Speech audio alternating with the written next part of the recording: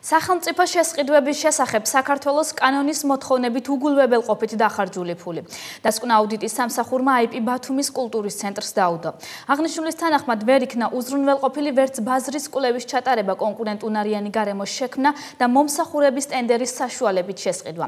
მაკონტროლებელი ორგანოს ინფორმაციით ბათუმის მუნიციპალიტეტმა მნიშვნელოვანი ეკონომიის მიღების საშუალება დაკარგა.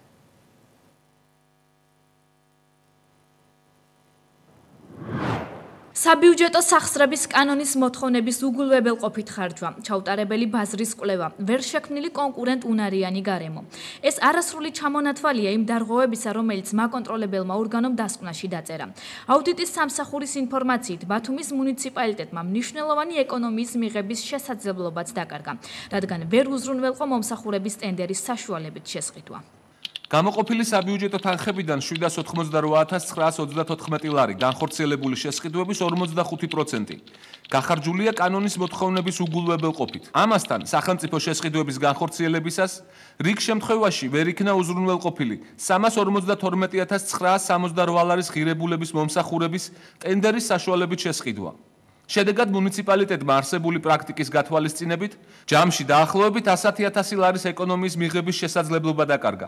აღნიშნული მენეჯმენტის სისუსტეზე მიუთითებს და არამართლზომიერი ქმედებების რისკებს წარმოშობს. გამოსთ ოფიციალური პასუხი მერიას აა თქვენად გაინტერესებს კონკრეტულად სახელმწიფოებისა ის იყო ბოლო მომენტში დამატებული თანხა რომელიც ფიზიკურად როს არ გვაძლევდა რომ გავუხეთებინა კვლევა და პირდაპირ გამოაცხადეთ ტენდერზე. აქედან გამომდინარე ეს თანხა იყო წლის ბოლოს, აი ბოლო ასე ვთქვათ მიწურულს და თანხა წლის ბოლოს იყო არ იყო ისეთი დიდი ასე ვთქვათ ჩვენ დიდი გამოცდილებიდან გამომდინარე არ იყო ძალიან დიდი სხვაობა თანხასთან დამოკიდებულებაში და გამოაცხადეთ პირდაპირ ტენდერი. ოპოზიციაში აუდიტის დასკვნა არ უკვირთ. ლევან ანთაძის განმარტებით ეს პირველი შემთხვევა არ არის, როცა მაკონტროლებელმა ორგანომ IP ბათუმის კულტურის ცენტრი ბიუჯეტის არამიზნობრივად ხარჯვაში ამხილა. რღვევები არის მრავალმხრივი და ეს დროში განცობადია და მარტო 2009 წელს არ ხდება ესე ფიქსირდებოდა სხვა წლებშიც და ამაზეც ყველას ხდომაზე გვაქვს საუბარი. დაწყებული შესყიდვებში არსებული პრობლემებიდან იქ აუდიტის დასკვნა თქმაში ჩანს, რომ 100000 ლარზე მეტი ეკონომიის გაკეთება შეიძლებოდა და ფაქტურად ეს მუნიციპალიტეტისთვის დაკარგული ფულია. მაკონტროლებელი ორგანო წერს იმასაც, რომ ბათუმის კულტურის ცენტრში ორ სხვადასხვა საშტატო ერთეულზე მუშაკთა ერთდროულად დასაქმების ფაქტები ფიქსირდება. ამასთან სამსახურეობრივი მივლინების პერიოდში აღნიშნულ პირებს ხელფასი ორივე პოზიციაზე სრულად უნარჩუნდებოდათ. აუდიტი კულტურის ცენტრს მოუწოდებს უზრუნველყოს არამიზნობრივად გაცემული შრომის ანაზღაურების დაბრუნება და ბიუჯეტის შესაბამის ანგარიში. ხარისზე ჩარიცხვა. ეს იყო გასტროლზე, როდესაც წავიდა მუსიკოსი და მეორე საშტატო ერთეულის თანხა დაერიცხა.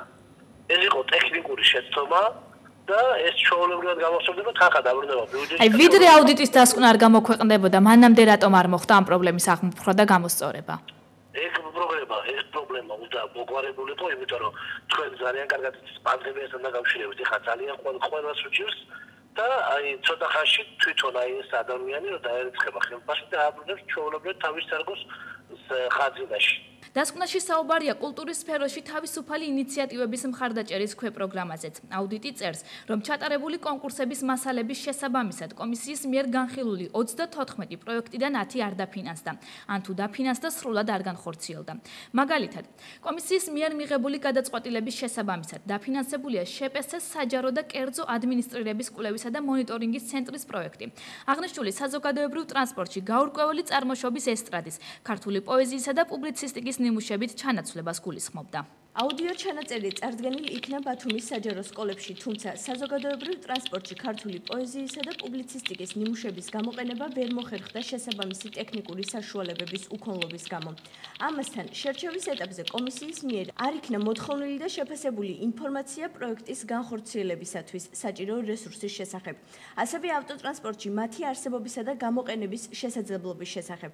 შედეგად, პროგრამით გათვალისწინებული ღონისძიებები ვერ განხორციელდა. ეს კი საბიუჯეტო საბიუჯეტო სახსრების არაეფექტიანად ხარჯვისა და სუბიექტური გადაწყვეტილების მიღების რისკზე მიუთითებს.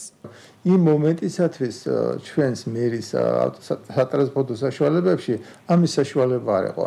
დღეს იცით რომ საუკეთესო ახალი ტექნიკით ბოლო მოდელები ჩამოდეს ავტობუსების და აქ ჩვენ მქონდა საუბარი ხელმძღვანელობასთან და გითხრეს რომ აუდიო და ვიდეო საშუალებების პრობლემა არ არსებობს და შესაბამისად აი ეს პროდუქტი რომელიც ჩვენთვის მომზადდა ამისათვის შეიძლება ხელშეკრულების საფუძველზე იქნეს გამოყენებული საზოგადოებრივ ტრანსპორტში. არდაფინანს და აფხაზეთის უსინათლოთა და ყრუთა კავშირ ჰერას მიერ წარმოქმნილი პროექტი რომლის მიზანიც შშმ პირებისთვის სახელოვნებო უნარჩვევების ათვისება განვითარება იყო. აღნიშნულთან დაკავშირებით კომისიის ხდომის ოფისში უარის თქმის არგუმენტები განმარტებული არ არის.